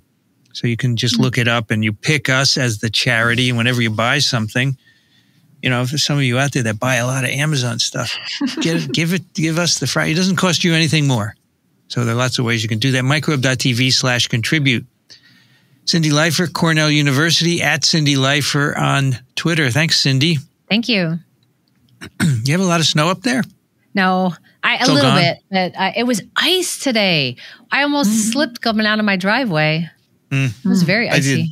I did a twin yesterday, and Jason Shepard in Salt Lake City. They got five feet Oh, of snow. yeah, you got pummeled. Wow. Get dumped on. Steph Langle is at Case Western Reserve University. Stephanie Langle on Twitter. Thanks, Steph. Yeah, thank you. This is fun. How's the new lab? All good? Yes, uh, it's great. We I have I've hired a couple people. I have um, uh, another person coming, maybe two more people. What I underestimated is how long it takes to do like everything. So like MTAs, transferring grants from another institution, IBC protocols. Everything takes a long time, and a lot of it is like I can't do it myself. Like this, these forms. I have to have many layers of people filling them out. So that's what I think I'm frustrated with, but it's going good. No, it's going great. Loving it. So I, I arrived in my lab September 1982 at Columbia, and I did my first experiment in January of uh, 83. So it's not bad. Oh, okay, that's not bad. I'm, but that is what I feel like. I'm like, oh, am I gonna? Hopefully, I'll get to do experiments sometime soon. But I didn't have any grants to transfer. This is 1982. There were hardly any forms to fill out. That's the beauty of Yeah, you were shortly after mouth pipetting, so you know. Yeah, yeah, exactly right. Yeah, but it's great. Thank you for asking. Brianne Barker's at Drew University, BioProf Barker on Twitter. Thanks, Brianne. Thanks. I learned a lot. I now have a long list of papers that I'm ready to go read. And I promise I know that the yellow fever vaccine is live. I'm sure you, I'm sure you knew it was just a misstep. It's okay.